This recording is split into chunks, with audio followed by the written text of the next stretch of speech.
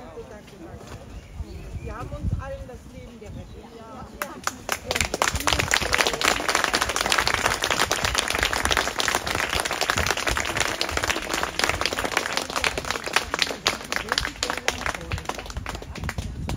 Ja.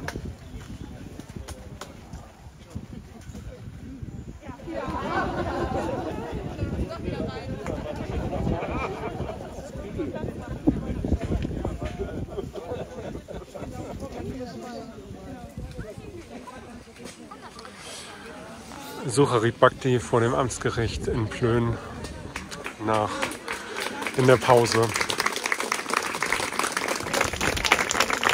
Vielen Dank.